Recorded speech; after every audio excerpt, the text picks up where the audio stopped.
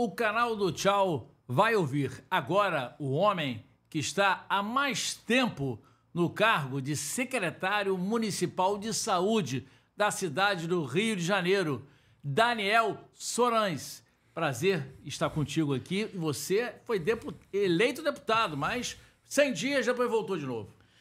Não Super querem te largar. Super desafio, tchau. Um prazer imenso estar aqui com você. Vamos lá. É isso aí. E o canal do Tchau tem o patrocínio da Volts Elevadores, a empresa que mais sobe em Niterói. Somos a Volts Elevadores, a empresa que mais sobe em Niterói. Ligue e comprove.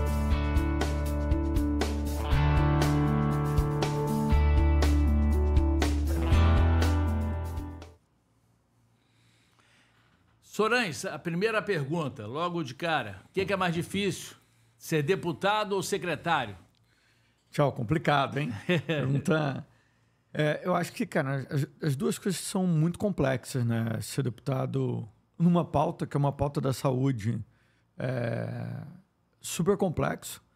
Essa experiência de 100 dias na Câmara e nessa condução do mandato junto com a Secretaria Municipal de Saúde é incrível. É, mas sem dúvida nenhuma, ser secretário municipal de saúde do Rio não é nada tranquilo. nessa, nessa última semana aí eu tenho analisado aí metas e avanços que a gente conseguiu realizar, mas quando a gente olha para frente, tudo que falta para a gente conseguir ter um sistema de saúde que a população merece, ainda, ainda falta muito. E a gente olha os países mais desenvolvidos, olha é, os países que já têm sistemas de saúde mais consolidados, que investem é, realmente em saúde, a gente vê o quanto que o Brasil precisa avançar. É, hoje, o Brasil gasta 4% de tudo que você paga em imposto com saúde pública. É, se a gente fosse comparar com os Estados Unidos, Inglaterra, que gastam mais de 15% de todo todo o imposto com Quase saúde, a gente é, fica sempre se perguntando: será que a gente está no caminho correto da nossa sociedade? Será que esse. E essa união, é, como deputado federal e secretário, facilita muito a gente buscar é, um sistema de saúde melhor. Então, espero que, que eu consiga, nessa dupla função, aí ter mais força para fazer o sistema crescer. E você já conseguiu algumas. É, iniciar algumas leis boas né, lá no Congresso. Diz uma. Tchau. A minha, minha principal prioridade hoje é tentar tornar o sistema de saúde mais eficiente. É, na verdade, eu fui eleito com, com três pautas. É, a primeira pauta, fortalecer a rede federal aqui do Rio de Janeiro, é, que é uma rede que vem sendo sucateada há muito tempo. É. Uma é criar leis que tornem esse sistema mais eficiente, que nosso sistema público possa ser mais eficiente. E o terceiro, disputar recursos para o SUS, disputar orçamento na Câmara Federal para o Sistema Único de Saúde. É, mas a minha prioridade no momento é uma lei que cria um sistema de compras públicas por marketplace. Então, hoje, por incrível que pareça, o Brasil compra diferente de todos os países do mundo. Por quê? A gente compra é, de pirona por licitação. Licitação é uma coisa brasileira. É. É, só que são 12 produtores nacionais de licitação de, de, de pirona. Ah. 12 grandes produtores. E a gente faz 4 mil licitações por ano. Cada município, cada hospital federal, cada estado.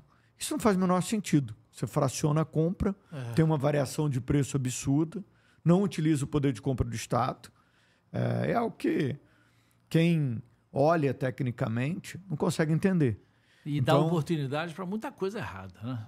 Sem, sem, sem, dúvida. Eu, eu, eu, na Fiocruz, eu discuto essa situação há bastante tempo.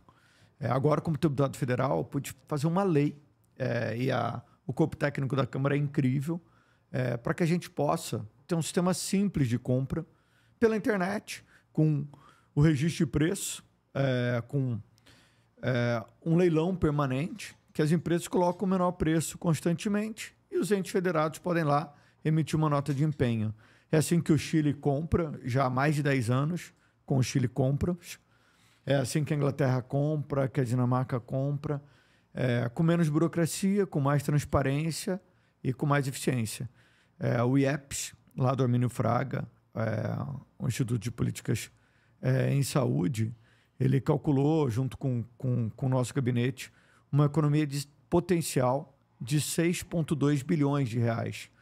Hoje, a gente calcula de que cada seis reais comprados em medicamento no Brasil, um real é desperdiçado é, na burocracia e no, na ausência de poder de compra do Estado Mas... em medicamentos só. Então, 6,2 bi de economia, é, com uma mudança de regra que parece simples, e é simples, mas faz muita diferença. Ah, não passou ainda, né? Tem fases mais fáceis. Não, né? não, não, não, passou ainda. Não é tem... fácil assim, não, né? Poderia ser mais fácil é, se a gente tivesse uma adesão maior é, do próprio governo e, da, e, e, de outros deputados da Câmara. Mas eu acho que a gente vai avançar. É, já está na primeira, na primeira etapa, que é o, o projeto de lei já apresentado. Agora está distribuído é, nas comissões. Eu também procurei a ministra Esté, que é a ministra de Gestão e Inovação do governo federal, porque há uma possibilidade disso virar uma MP, uma medida provisória é, e como medida provisória já tem efeito imediato, é, mesmo que o governo não consiga fazer para tudo, que comece a fazer com alguns medicamentos, com, com algumas estruturas. Espero que a gente consiga até o final do próximo ano ter essa lei aprovada e a gente avançar. Mas é claro que eu, logo nos primeiros 100 dias, consegui aprovar uma medida provisória para a contratação de 4.700 profissionais para a rede federal aqui no Rio. É, eu fui relator de plenário, que é algo raro, mas como eu fui é. o mais votado do meu partido, cheguei cheio de moral na, é. na, na, Câmara. É, logo, a, o presidente me colocou é, uma emenda, uma medida provisória para relatar em plenário. Então, acho que a gente, é, aos poucos, está evoluindo é, espero poder dar muito retorno desse mandato para o estado do Rio. Fundamental, né? A questão da Fiocruz, né? É impressionante como ficou sucateado, né? É, fundamental, né? A gente, infelizmente, teve é, uma guerra ideológica contra algumas instituições. A Fiocruz sofreu, sofreu um pouco é, nesse período, mas é uma instituição centenária, muito resiliente, com profissionais incríveis e com uma capacidade de entrega para a sociedade muito alta, né? A gente, na pandemia, conseguiu mostrar lá é, a nossa capacidade produtiva em testes diagnósticos, conseguimos mostrar capacidade produtiva em vacina, na vacina da AstraZeneca. É, também o hospital, de, o hospital do Instituto Nacional de Infectologia é, foi brilhante, fez muitos atendimentos. É, eu na época, no início da pandemia, eu estava isolado, é, tinha saído da gestão e havia uma perseguição da Prefeitura do Rio contra os ex, é, ex-gestores. É. E eu fui trabalhar em, pela Fiocruz, é, minha matrícula da Fiocruz, em Campo Grande, Mato Grosso do Sul. A gente teve um desempenho incrível no ano de 2020 em Campo Grande, Mato Grosso do Sul. Já mandar um abraço aí a todos é. Todas as pessoas lá de, de É só acessar, só Grande. que se inscrever no canal que consegue ver a entrevista toda. É isso, vou mandar, mandar para o pessoal de lá também, que eles têm o maior carinho. A gente trabalhou junto um ano, a gente montou um programa de residência pela Fiocruz lá, com a Fiocruz de, de Mato Grosso do Sul, já aproveitando aí um, o canal aqui já para falar com eles. Agora, de qualquer maneira, você encontrou uma grande barreira também né, durante essa pandemia, mas não foi só. É desses outros gestores, mas também é, da, do governo Bolsonaro, né? que não apoiava a vacina. E você foi um lutador incansável nessa questão, né? Conta para mim. É, tchau, eu, eu, eu, desde o início, né? Desde. É, eu dei uma primeira entrevista para a Globo News, eu acho, em, nos primeiros dias, os primeiros casos na, na, no Brasil. É, desde então, o, o, o, governo federal ficou muito é, reticente, porque. Não gostou. É, né? Não gostou. É, e a gente já estava recomendando ali no início da pandemia algumas ações que foram fundamentais. Então, é, a utilização de máscara, se você tem algum sintoma, evitar contato com outras pessoas. É, isso foi se agravando é, ao longo de todo o processo. Mas eu sempre, sempre tive, tive para mim aí que tudo que não se podia fazer na, na pandemia é trabalhar com questões ideológicas e fugir das evidências científicas. Então eu, em nenhum momento, é, nem na eleição, eu fui candidato a deputado federal, é, ataquei nenhum dos lados, é, não deixei em nenhum momento que essa questão política polarizada interferisse nas tomadas de decisão. Extremismo. Né?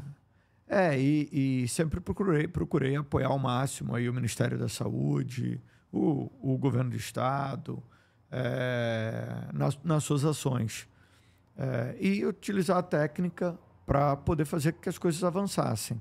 Então, eu nunca vi o governo federal como um inimigo, é, mas sim é, decisões equivocadas e a política tentando interferir no que deveria ser técnico. Então, a, a, a, gestão da pandemia aqui no Rio de Janeiro, ela enfrentou muita resistência por isso. E começou, né, obviamente, com o governo Crivella, com o desastre que, foi, que foram os hospitais de campanha. 2020 a gente teve o Wilson Witzel sendo empichado, uma situação tenebrosa. Secretário estadual, né, na o Rio, época. O secretário estadual preso. O Rio de Janeiro foi o estado e a capital do Rio com o pior desempenho no ano de 2020, a maior mortalidade entre as capitais brasileiras no ano de 2020, a segunda pior. É, e no ano de 2021, a gente consegue virar esse jogo, fechando o hospital de campanha, é, investindo recursos no Hospital Ronaldo Gazola, é, em outras unidades da rede, no Souza Guiar, no Miguel Couto, ampliando a nossa capacidade de leitos nas unidades que já existiam, economizando recurso público, mas principalmente é, otimizando esse recurso para é, ampliar o número de vagas no sistema. É, e, e, no ano de 2021 a gente teve o um excelente resultado de que foi a capital com a menor mortalidade, a segunda capital com a menor mortalidade comparada entre as capitais. É, então, uma diferença bem expressiva é, de 20 para 22 porque a gente em nenhum momento polarizou. É, em alguns momentos a gente apanhou da direita, em outros uhum. momentos a gente apanhou da esquerda, é, mas sempre com muita técnica. Então, é, chegou um momento em que a gente precisou falar: olha, as escolas precisam reabrir, é o momento de reabrir. É, e, o, e, a, e, a, e o, o Colégio Pedro II foi o último a reabrir. Então, é, foram momentos tensos também com, com a esquerda. É, mas hoje, depois que o tempo passa, eu acho que tanto a esquerda quanto a direita vem os benefícios aí da gente não polarizar e não partidarizar é, questões que precisam ser técnicas, né? Principal trauma nisso aí, nessa confusão toda. Lembra para mim, relembra Cara, eu, eu fiquei muito, muito... Foram os dois piores anos da minha vida. Eu acho que... Não só da minha vida, mas eu acho que da vida de toda, de toda a população, né? É, traumas terríveis, pessoas é, da própria equipe que faleceram, é, situações que a gente sabia que é, não seriam é, positivas e governos tomando decisões totalmente equivocadas. E para mim o, o, principal trauma foi o Natal é, de 2020 no hospital de campanha. O prefeito Marcelo Crivella havia sido preso, é uma situação muito constrangedor. Eu estava no governo de transição. E eu fui passar o Natal no, no hospital de campanha do Rio Centro. E a gente tinha mais de 70 pessoas internadas, é, sem telefone celular, com a com uma luz que não não não era suficiente. Não, que não apagava nunca, uhum. porque era um galpão. Uhum. Então os pacientes com covid tendo que colocar panos no rosto para conseguir para conseguir dormir. É, e toda, toda a equipe de transição atuando aí para conseguir dar o suporte necessário para essas pessoas. É, as pessoas não tinham, foram retirados os telefones celulares dos pacientes. É, eles não conseguiam se comunicar com a família, mesmo já tendo alta.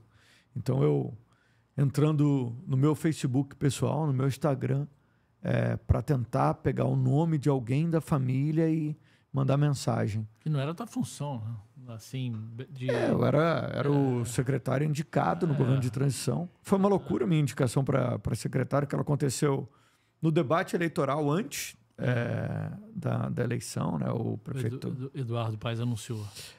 anunciou e, e, sem dúvida nenhuma é um dia que eu nunca mais vou esquecer, do- porque foi um dia muito, muito triste para mim e, e para toda, para toda a equipe, para todas as pessoas que estavam lá. Tanta gente, né? é, de todos.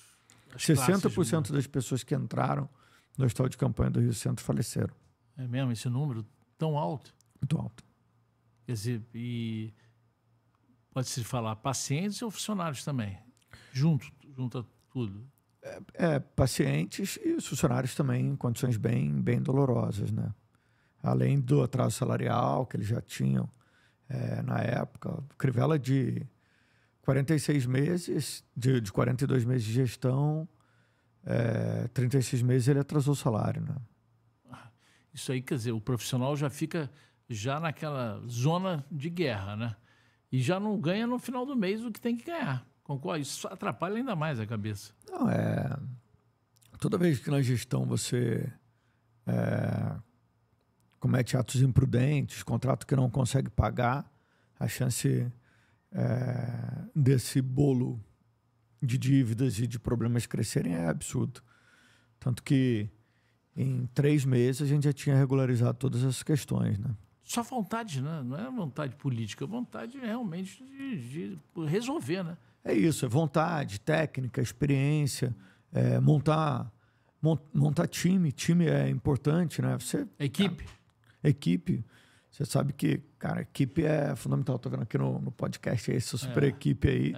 Nada. cê- Rodrigo Mangani- Mandarini, o irmão dele, Matheus, são os meus suporte, o meu suporte. Você não faz nada sozinho, né? Exatamente. Então isso, isso é em, em, em todo lugar, é na vida, é na gestão. Então eu pô, sou muito grato a, a essa equipe e, e espero que a gente nunca mais viva dias como a gente isso. viveu. Como é que você avalia é, a gestão do nesse início logo do, general Pazuello? Ele que foi o ministro da, da Saúde, vamos botar um general do Exército. Cara, é um erro, um equívoco absurdo, né? Um, ele diz que um não cara, nada errado. um cara super preparado para é, conduzir questões no exército, questões é, num, num determinado nicho de conhecimento. Coloca um cara num, num local que ele não tem é, aproximação do tema e que, e que não conhece o assunto, que não tem experiência. É óbvio que não ia ser bom. É óbvio que ia ter problemas. É, então, essa, essa questão ideológica partidária causou muito dano na pandemia, muito dano. E teve, acho que o, o Bolsonaro teve três ou quatro, né? Ministros da, da, da É isso, alguns ministros que. Um ministro que não durou um mês, que É, que é aquele que ficaram todos sérios. é o Nelson Tais, que É. é. um cara super preparado e foi uma maldade fazer isso com, com o cara. É. O cara, é, depois que aceita o cargo, vê o, de fato o buraco que ele, que ele tinha se metido, É. entrega o cargo. É, mas foi uma, uma gestão desastrosa no momento em que o Brasil não podia suportar isso. É, isso trouxe repercussões econômicas para a sociedade, repercussões na vida das pessoas é, e um número de mortes é, muito além do que, do que a gente esperava. Eu lembro que já no governo de transição fui ao Instituto Butantan é, negociar a vacina Coronavac com os secretários de capital. É, e o Ministério relutava em assinar o- o contrato com o Instituto. É, uma crítica desnecessária é, à, à, à relação com o governo de São Paulo. É. Então, a, a, um momento de pandemia, o que a gente espera das pessoas é que elas se integrem, falem a mesma língua, tenham é, e não estava acontecendo. Foda. E não estava nem um pouco, né? nem em São Paulo, nem em outros estados também. Era quem defendia Bolsonaro, né?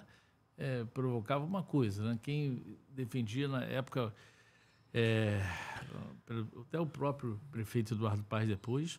Agora, me diz o seguinte, na prefeitura do Rio, essas clínicas, você que é um médico né, especialista, né? Clínica da família, o que você está enfrentando mais de pro- problemas quando se fala em violência? Tchau, a violência na cidade do Rio é algo que vem aumentando. Eu tenho uma preocupação muito grande do que está acontecendo nas nossas comunidades, né? Eu, É. minha vida toda, eu fui médico de Manguinhos, né? Eu sou É. do Fiocruz, sou médico de família lá. Eu comecei lá em 2002 é, e a gente via questões de violência, via violência armada. é, depois, Passava perto de homens armados? sim, sem dúvida, assim, eu- É. eu, já tive que é, ficar preso durante visitas domiciliares na casa de pacientes ou pular muro é, da Fiocruz para me proteger. Mas hoje a gente vê uma característica muito mais cruel, né? Hoje a gente vê muito mais armas nas comunidades, é, a violência ah, armada e armas de maior calibre é, crescendo, numa velocidade muito grande. É, e as nossas forças policiais en- encolhendo, com dificuldade de, de dar resposta à população. É. Então a gente, sem dúvida nenhuma, precisa é, repensar esse modelo de segurança pública que a gente vive hoje. É, eu não estou falando é, que a gente é importante a gente ter educação, cultura, é, saúde, mas é importante também o Estado ter presença, ter força policial, ter presença é, da autoridade do Estado, igual acontece é, em muitos países. É, e a nossa presença e autoridade do Estado ela vem diminuindo. É, não sei se. O Brasil é um, é um país que gasta relativamente. é, tem um gasto relativamente alto com segurança, Segurança. pública e com judiciário. A gente gasta mais com judiciário do que com o sistema de saúde. A gente gasta mais com segurança do que com o sistema de saúde. Só de aposentadoria de militares, a gente tem metade do orçamento do Ministério da Saúde. Então, a, a- esse modelo de segurança pública, é, que envolve, obviamente, as nossas Forças Armadas, a segurança dos, dos estados, da Polícia Federal, é, precisa ser repensado. É, não dá para a gente ter uma quantidade imensa do território é, do estado do Rio de Janeiro dominado pelo poder paralelo. É terrível. Milícia, É ou milícia ou tráfico. tráfico. Então, é, é terrível você ter uma unidade de saúde.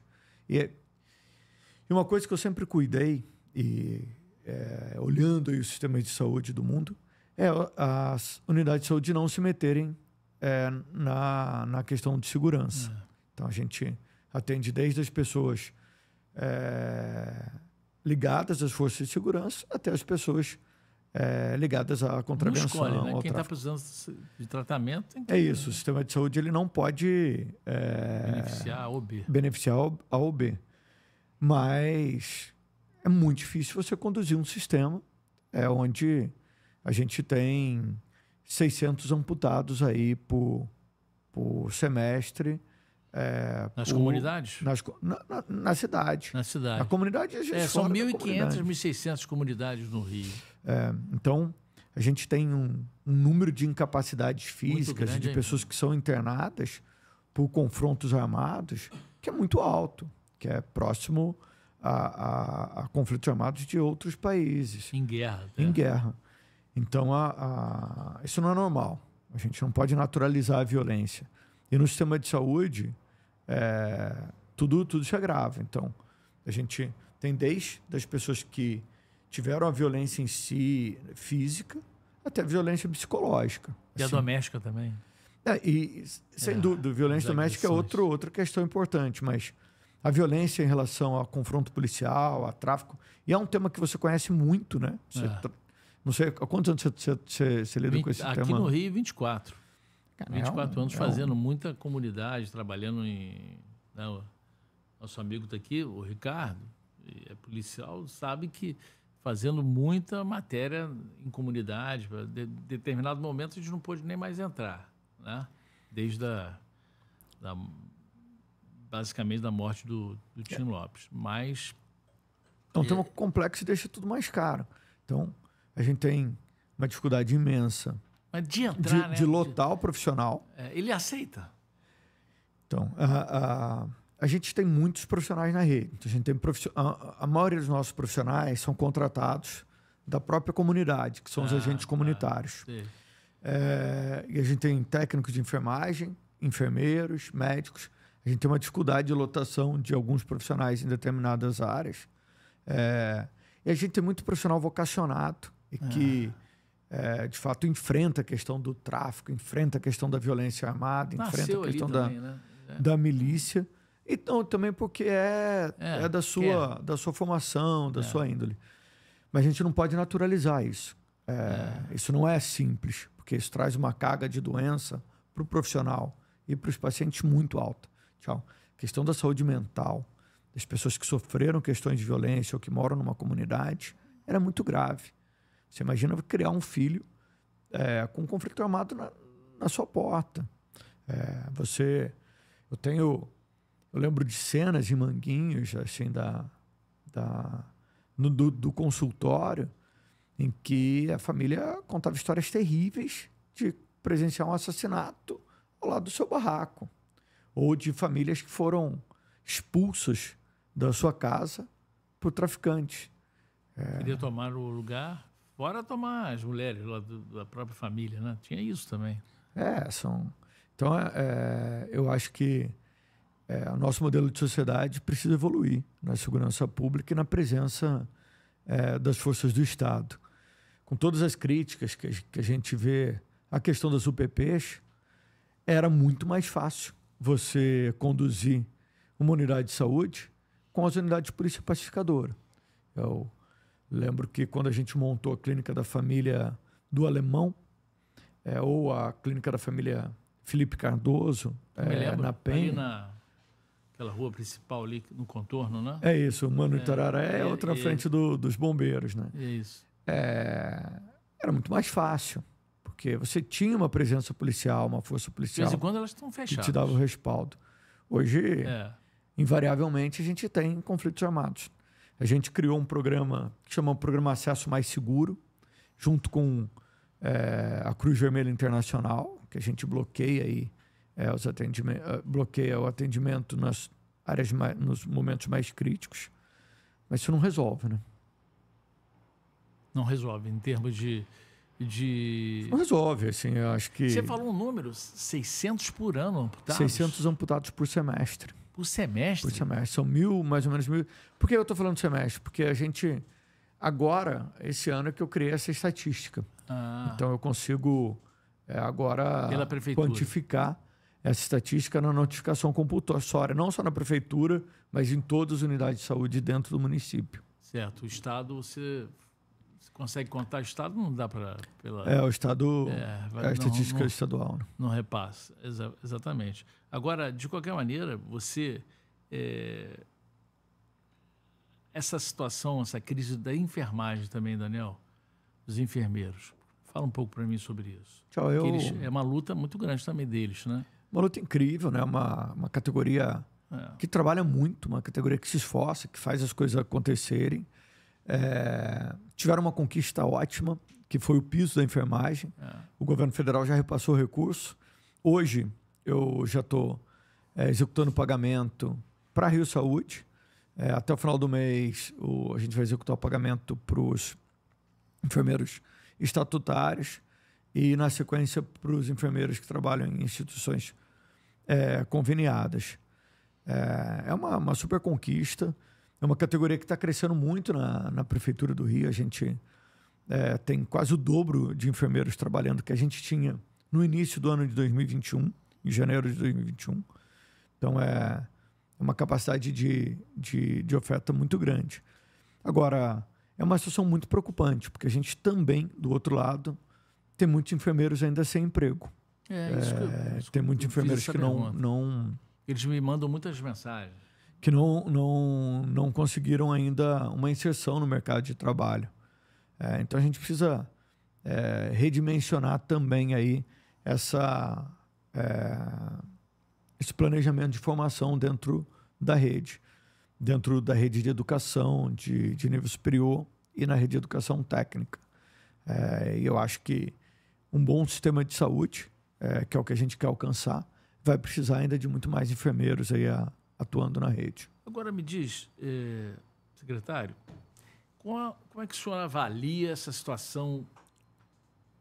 Eh, o ex-vereador né, fez muito isso, agora os deputados, tem deputado fazendo também, dessa entrada na- nas unidades médicas para cobrar se o médico está acordado, se tá, não está.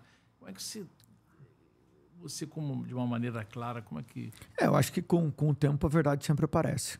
É bom a gente é. marcar isso. É, então, a gente consegue ver quando alguém manipula é, uma denúncia. Você viu pessoas manipulando tiros em favela e levando, fingindo que estavam é, numa é. atuação de combate ao tráfico, que estavam.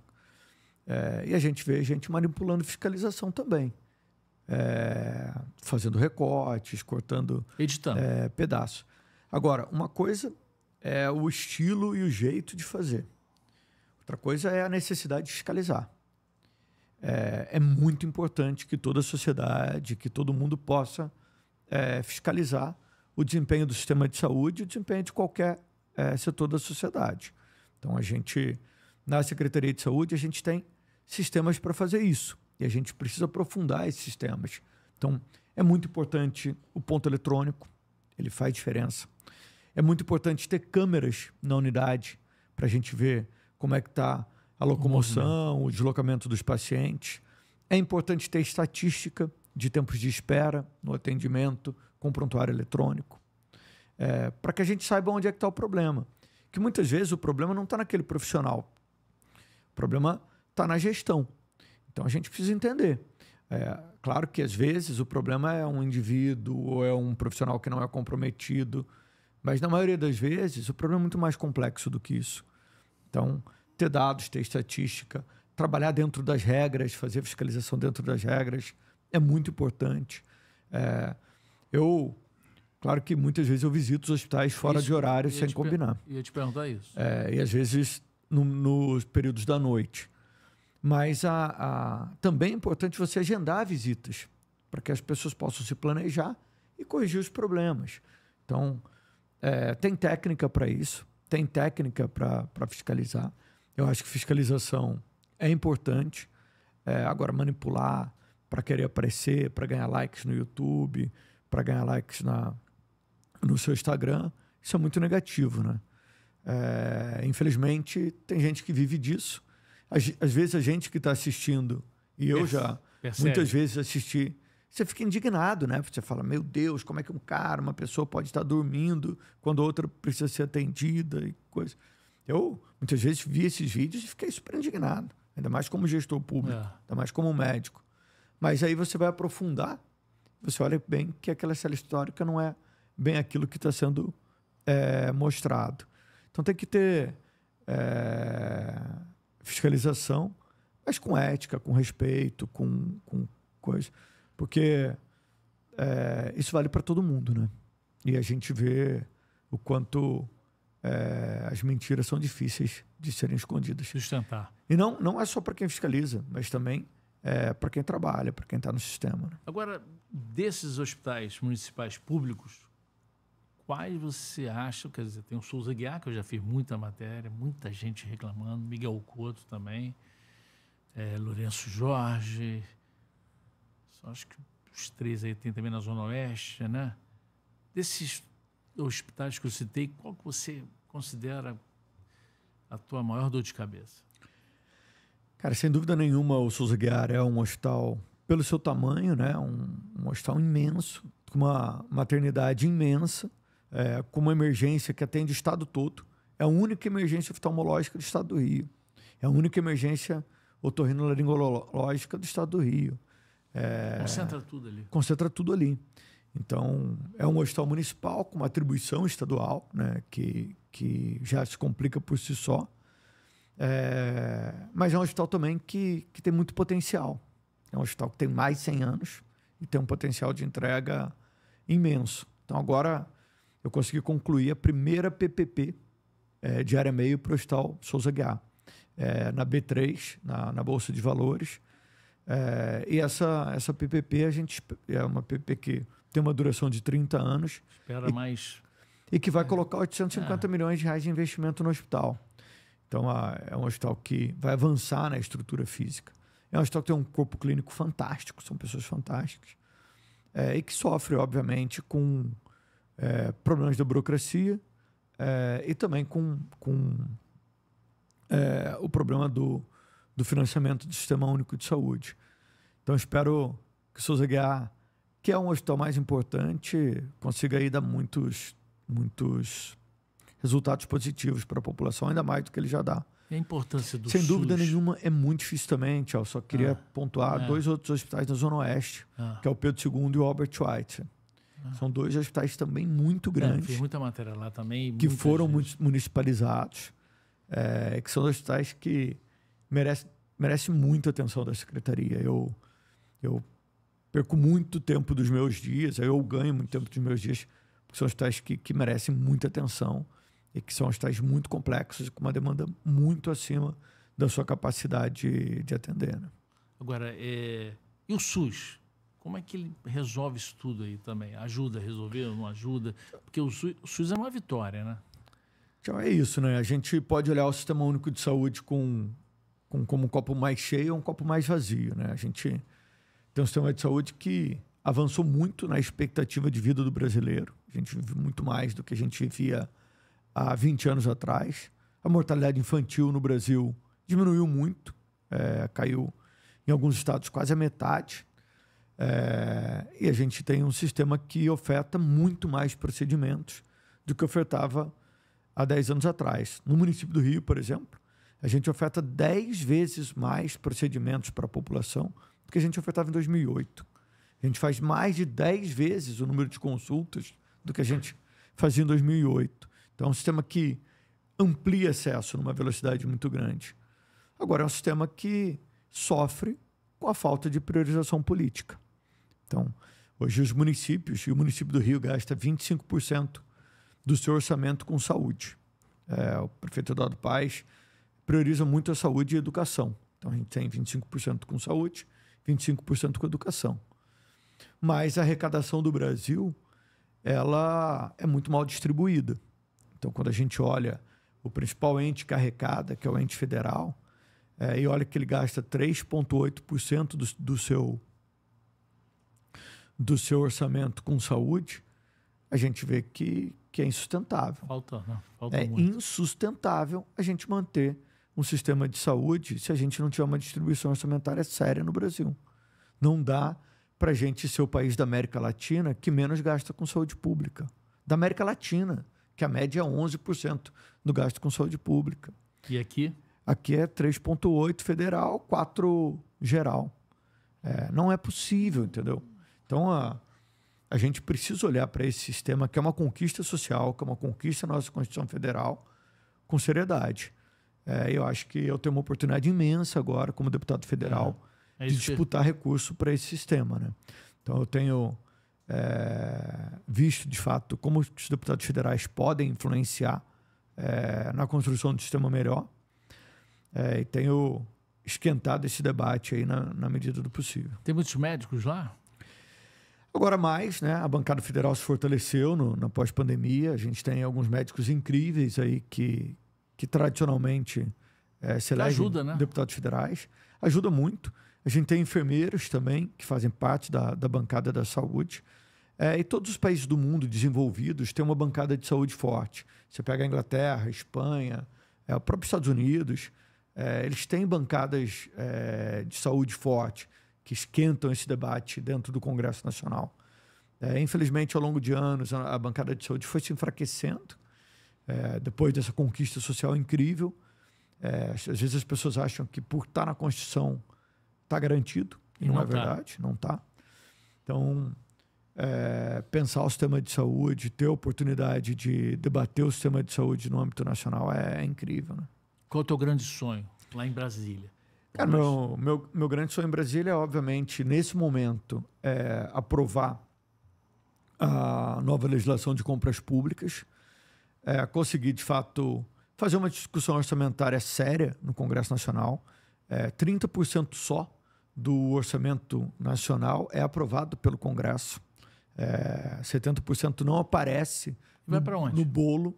É, 45% vai para pagamento de dívida. É, e o restante são despesas obrigatórias de repasse, que são muito mal explicadas para a sociedade. Então a gente precisa ter é, uma discussão mais aprofundada de orçamento público na sociedade brasileira. É, às vezes as pessoas acham que não é possível você mudar o orçamento público federal por conta de algumas despesas obrigatórias, por conta de algumas situações. Isso não é verdade. É, o Congresso Nacional tem poder e autonomia para ampliar essa discussão. E a gente precisa é, avançar nisso de maneira muito mais séria. Países é, muito, muito mais complexos do que o Brasil Consegue. conseguem fazer isso. É. Você, o teu telefone não para, é, a gente percebe. E, ao mesmo tempo, está lá, conversando agora com... Tem uma agenda hoje com o presidente Rodrigo Pacheco. É, qual é a, dá para a gente qual é a, o principal ponto aí dessa, dessa Cara, a gente tem dois grandes líderes aí do PSD, do meu partido na Câmara, né? É. Que, que é o Antônio Brito, que é o líder na, na Câmara, e o presidente do Senado, que é o Rodrigo Pacheco, é, que estão, obviamente, discutindo a possibilidade de aumentar o financiamento para o Sistema Único de Saúde. É, o Senado tem um papel importante nessa discussão orçamentária. Hoje, se a gente entrar lá no portal do Senado, é o melhor portal para que a gente possa entender de orçamento público. É, para quem estuda o assunto, para quem trabalha com o assunto, sabe é, o grau de transparência que o Senado conseguiu alcançar é, nessa, nessa, nessa discussão. É, eu acho que a gente tem um período muito propício com o novo governo, com o novo governo federal, é, com é, 201 novos deputados na Câmara de Deputados, para que a gente possa avançar. A gente olha a distribuição orçamentária é, dos outros países do mundo e olha a distribuição orçamentária do Brasil, ela é muito diferente. E não é, a gente não é tão diferente de todo mundo assim. Então, você olha é, distribuição orçamentária da maioria dos países do mundo, quais são as prioridades? Educação, Saúde. Saúde e segurança pública. Você pode pegar qualquer pessoa na rua e perguntar o que, que você acha que o governo deve investir, o que, que deve ser prioridade. É saúde, educação e segurança. Infelizmente, o nosso orçamento público federal não reflete isso. Maior para segurança? É. e até pra, e menor para, para, é, saúde. E, e, e, não, não é só isso. Né? Às vezes o Estado brasileiro ele concentra renda. Às vezes o Estado brasileiro investe é, valores muito altos em poucos indivíduos. Então, a gente tem pessoas que ganham muito acima do teto é, da, do presidente da República. A gente vê no judiciário, é. exemplos em outros órgãos da administração federal que passam teto, né? concentrando né? renda. É. é. pessoas ganhando 300 mil reais por mês. Então, são coisas que se a gente não coloca na mesa na hora de discutir, esse cara que ganha 300 mil reais no mês é o mesmo dinheiro que vai faltar para compra de medicamentos é, especiais, e foi uma discussão grande que a gente teve Vitória, para pacientes com fibrose cística, que incorporou no SUS agora, uma grande luta também na Câmara. Então, é o mesmo recurso, é o mesmo imposto. A gente tem condição de aumentar imposto para a população? Não tem. Então, a gente precisa distribuir esse imposto onde vai dar mais retorno onde é, as pessoas da sociedade, onde os eleitores esperam que esse, que esse Mas dinheiro. O pessoal não vai ceder. É, esse, isso, é. isso se só cede com força política e com apoio político. E hoje é, eu vejo é, os deputados que defendem um sistema único de saúde mais forte ganhando força. Agora, e a gente estava falando em Brasília, agora em relação é, ao Rio de Janeiro, nossa cidade, qual é o teu grande projeto, seu sonho para realizar? Cara, eu acho que meu maior sonho é que a gente consiga que todas as pessoas tenham um atendimento básico de qualidade. Então, é, o prefeito Eduardo Paz criou as clínicas de família, hoje a gente já tem 130 clínicas de família, que atendem a massa da nossa população, a grande base. Então, meu maior sonho é conseguir que todo carioca tenha acesso a um pré-natal, a uma consulta de hipertensão, de diabetes, possa ser acompanhado aí com o que é essencial, com o básico.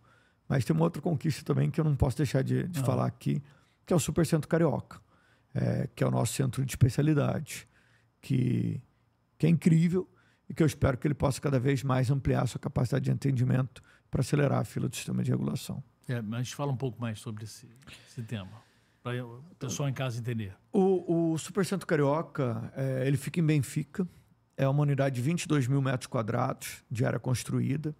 Ele centraliza aí é, a tecnologia, os principais é, exames que são pontuais, que a pessoa faz poucas vezes na vida. Então, uma cirurgia de catarata, uma cirurgia é, de estrabismo, é, uma colonoscopia, uma endoscopia.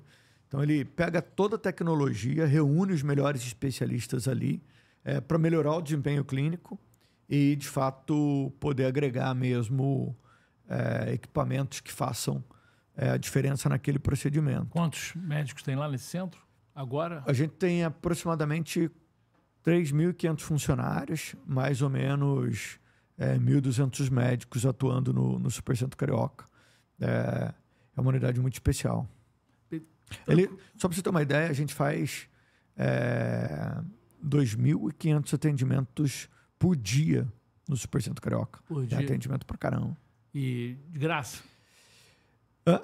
De gra- Não, tem que, tem que pagar, né?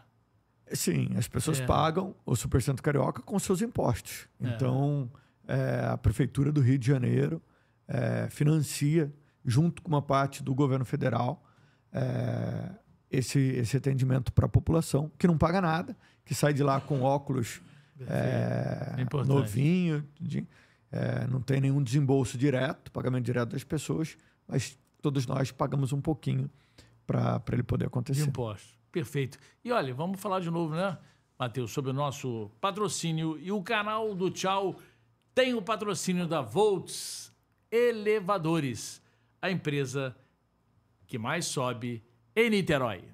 Somos a Volts Elevadores, a empresa que mais sobe em Niterói. Ligue e comprove.